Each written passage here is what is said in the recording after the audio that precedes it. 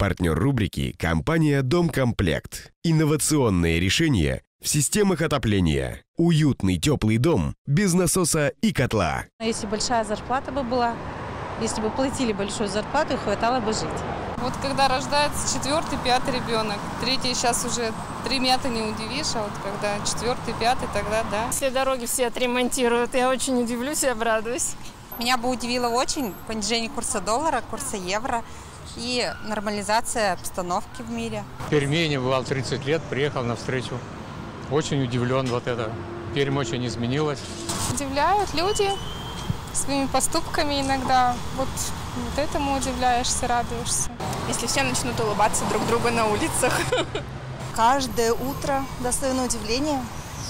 Солнце встающее, ребенок улыбающийся. Все хорошее, доброе количество